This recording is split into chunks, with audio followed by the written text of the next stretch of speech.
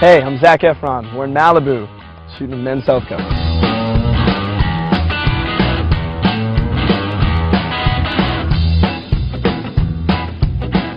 To play Logan in The Lucky One, I went through a pretty extreme training process. It was essentially boot camp. For about like three months of my life, just became total, total hell. We lifted weights every single day. Ate a lot of calories. It took a lot, a lot of willpower. Logan has this dog named Zeus, and we had the most amazing dog playing him. From like a mile away, you could control his mannerisms with just two fingers. If he went like this, he'd put his head down. You could tell him to bark just by going like that. And so I started to learn these things, and we could mess with people.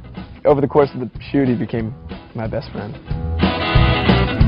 Cardio, I've never been a big fan of. So what I had to do is figure out a way to work it in that makes me happy and involves some sort of distraction. Like being outside. A ropes course like this would be a dream to have. Surfing, skateboarding. I've never done tires before, but I'm about to try that out. Weight training, I prefer to do that outdoors too, but I work mainly on compound lifts, multi-joint exercises, squats, deadlifts, overhead presses, bench press, stuff like that. I'm pretty careful about what I eat, not over careful. I definitely indulge every once in a while.